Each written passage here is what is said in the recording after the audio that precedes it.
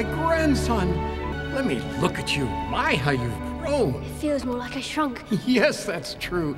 And how is your granny doing? Well, she's in trouble.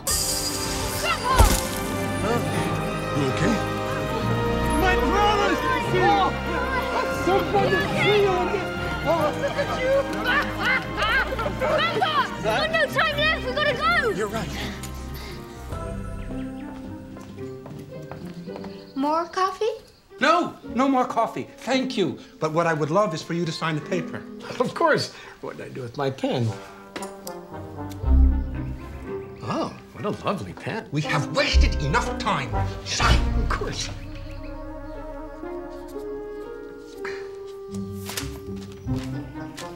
And now, the money. Huh? Oh, the money. I'm so sorry I was gone for so long. I thought I could solve our money problems and come right back.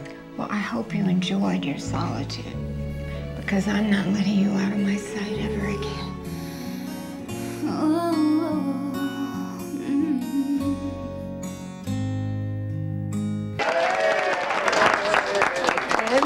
A 10? You're giving him a perfect 10 for that? That's out of 12. Why 12? Because the first pig and judge in Wisconsin had 12 fingers.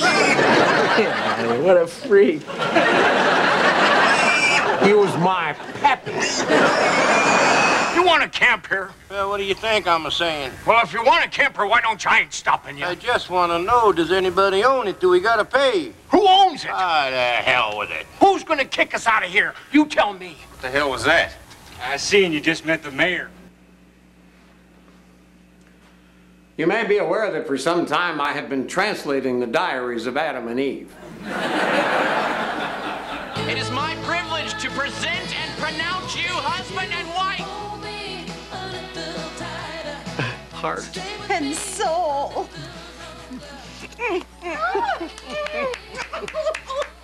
Congratulations. Oh, Peace and love, man. Are you Peace and two love. going on a honeymoon? We're hitching our way back to Woodstock.